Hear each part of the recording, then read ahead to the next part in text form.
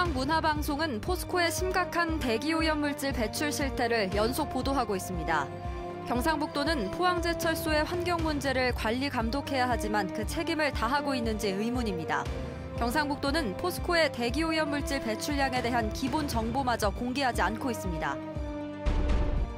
신종 코로나 바이러스 확산으로 경주 지역 관광객이 40% 이상 감소할 것으로 예상되는데 홍남기 경제부 총리가 오늘 경주에서 관광업계 관계자들을 만나 활성화 대책을 논의했습니다.